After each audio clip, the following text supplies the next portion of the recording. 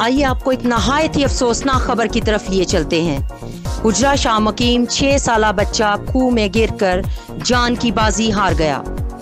इसका कसूरवार आखिर कौन है? कौन नहीं?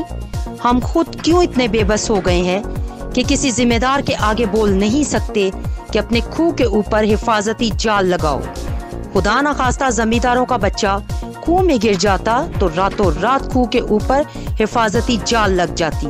कब तक, आखिर कब तक गरीब का बच्चा इन अमीरों की भेंट चढ़ता रहेगा?